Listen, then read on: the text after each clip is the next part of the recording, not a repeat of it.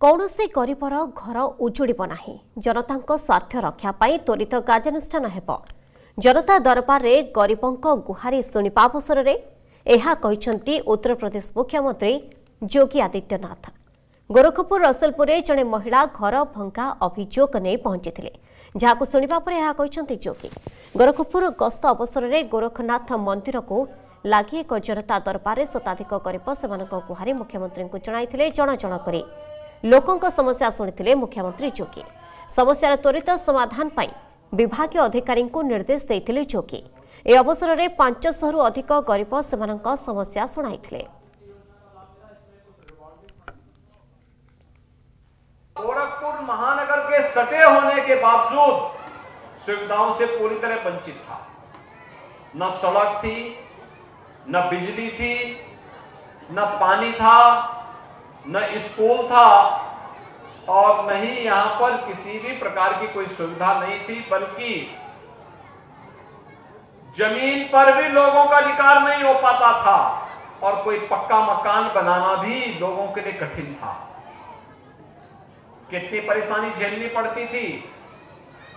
जब यहाँ पर आज से 10 साल 15 साल पहले आरपीएसएफ के साथ एक विवाद हुआ था, तब भी हम लोग आए थे।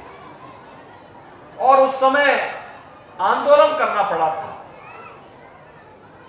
हर समय कभी फॉरेस्ट के लोग, कभी पुलिस के लोग, कभी प्रशासन के लोग इन लोगों को परेशान करते थे।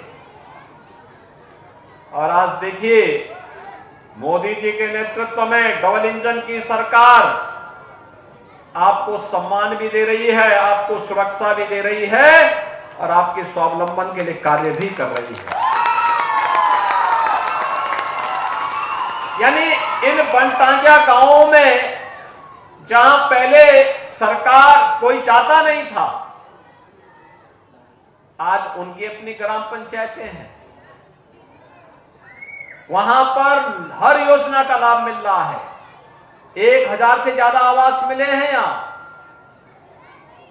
उज्ज्वला योजना में रसोई गैस के सिलेंडर मिले हैं। बिजली मिली है। अच्छी खासी सड़क बन गई है। महिला स्वयंसेवी समूह भी अब यहाँ पर आत्मनिर्भर बनकर के कार्य कर रही है। राशन की सुविधा का लाभ गरीब को मिल रहा है।